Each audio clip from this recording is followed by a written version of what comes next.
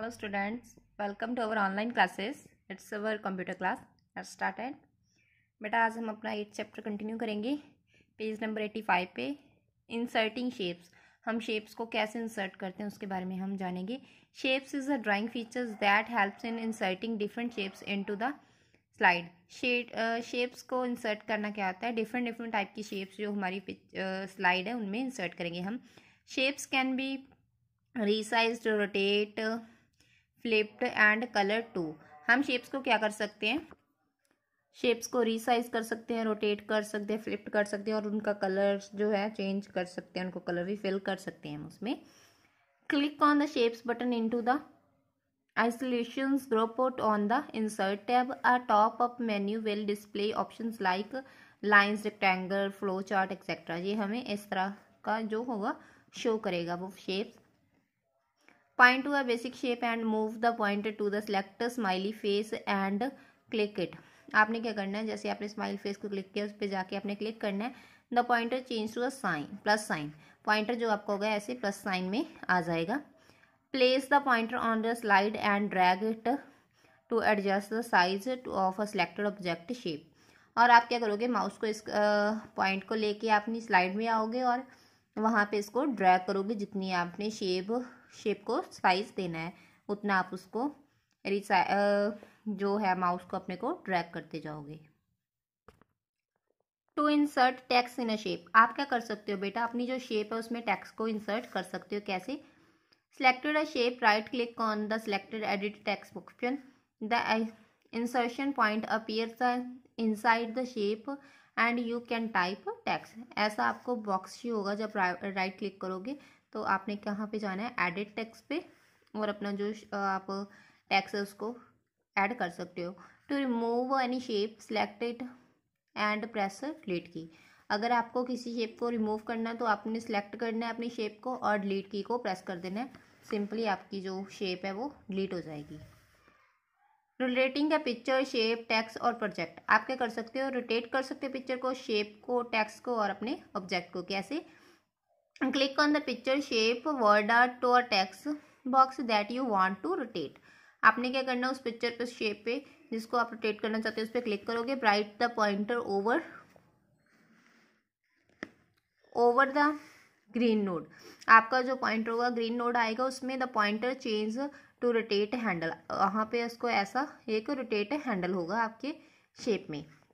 Click on the rotation handler the pointer will change to इस तरह के वो शेप में आ जाएगा जो आपका पॉइंटर है।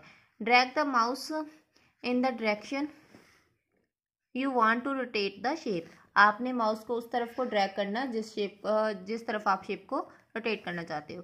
To rotate a picture using a predefined option predefined option से कैसे कर सकते हो? सिलेक्ट द शेप शेप को सिलेक्ट करेंगे। Click the format tab the arrange group select the rotate button वहाँ पे आप रोटेट बटन पे जाओगे choose the desire rotation option from the drop down menu और ड्रॉप डाउन मेन्यू होगा, उसमें आप क्या करोगे?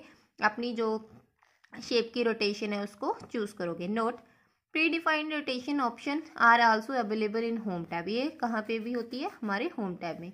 Selected the home tab dragging group arrange button rotate option in steps को फॉलो करके आप अपने पिक्चर को, अपनी शेप को रोटेट कर सकते हो. Resize a picture shape text or object आप इनको रीसाइज कर सकते हो, बड़ा छोटा कर सकते हो, कैसे? Resizing stretch or shrink the dimension of an object आप क्या कर सकते हो, उसको स्ट्रेच कर सकते हो श्रिंक कर सकते हो, बड़ा कर सकते हो, छोटा कर सकते हो, कैसे? To increase or decrease the size of an object select the object आपको जो ऑब्जेक्ट का आपका रीसाइज करना डिक्रीज करना है उसको इंक्रीज करना है उसको सिलेक्ट करोगे। Bring the pointer of the any eight resizing handle on the selected object. When the when the pointer change to the double headed arrow or जो, जब आप इसको रिसाइज करोगे तो आपका जो एरो की शेप होगी वो डबल हेडेड एरो में चेंज हो जाएगी। Drag the handle invert the decrease or out outward increase the size of the shape और आप क्या कर सकते हो अपनी जो अपनी शेप है उसको हैंडल इस माउस इस एरो की हैंडल से आप उसको रोटेट कर सकते हो उसको। डिसाइज कर सकते हो।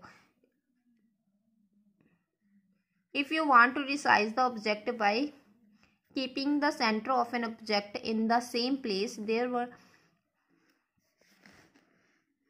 then hold down the control key as you drag और आप क्या कर सकते हो? अगर आप अपने ऑब्जेक्ट को सेम प्लेस पे उस पर सेंटर में लेकर आना चाहते हो तो आप कंट्रोल की का यूज़ करके उसको ड्रैग कर सकते हो। यूजिंग शेडो इफ़ेक्ट और अब हम डालेंगे शेडो शेडोज इफ़ेक्ट कैसे डालने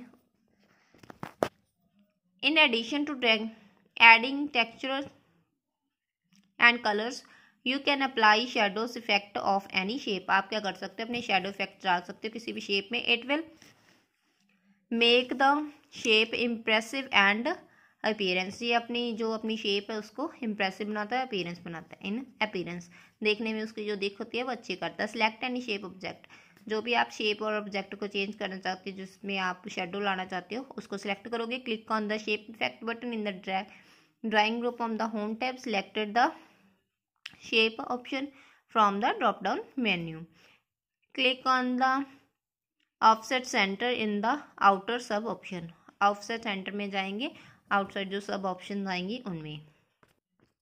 The object will appear with the shadow और जो ऑब्जेक्ट होगा आपको इस तरह की शेडोज वो शो करेगा. Note using format tab you also apply shadow effect click on the format tab shape style drop shape effect button shadow but option in option को यूज़ करके आप अपना शेडो इफ़ेक्ट डाल सकते हो. To have different shadow colour select the shadow option from the shape effect drop down menu. Select shadow option from the cascading menu. The format shape dialog box appear. Now define the desired color and click the click on close. And similarly, you can work with the 3D rotation option present on the shape effect drop down menu और आप 3D effects को भी अपने जो अपनी slide डाल सकते हो ये था बेटा हमारा एट चैप्टर एक बार हम इसका रिकैप कर लेते हैं recap of the chapter a slide layout can be modified either in a normal view or a slide sorter view आप क्या कर सकते हैं? स्लाइड को मॉडिफाई कर सकते हैं नॉर्मल व्यू में और slide slider slide sorter view में। The box is placeholder where text can be inserted and manipulated जहाँ पर आपका टैक्स मैनिपुलेट होता है इंसर्ट होता है, उसको क्या बोलते हैं हम? Placeholder a clip art picture is use to add picture add picture in slide a clip art is use to add picture in slide जो क्लिप आर्ट अपनी पिक्चर्स को आपको स्लाइड में अपनी डाल सकते हो। Word art picture help to create a special text effect word art क्या करता है? एक स्पेशल टाइप का इफ़ेक्ट जो अपने टैक्स में आप डाल सकते हो। Shapes is a drawing feature that help to insert different shape shapes क्या है? एक ड्राइंग की फीचर है जो आप डिफरेंट शेप्स को आपको अवेलेबल होती है like star banners chart flow chart cloud etcetera ये आप शेप्स अपनी स्लाइड्स में डाल सकते हो। To insert in a shape, right click on the and select the edit text option from the shortcut menu. इस तरह आप क्या कर सकते हो अपनी शेप में जो टैक्स है उनको इंसर्ट भी कर सकते हो। ये था बेटा हमारा चैप्टर जो स्लाइड्स के बारे में था स्लाइड में हम क्या क्या चेंजेस कर सकते हैं टैक्स को कैसे इम्प्रेसिव बना सकते हैं उसके बारे में था। इसका जो ब्रेन डेवलपर है वो हम नेक्स्ट वीडियो में करेंगे। Thank you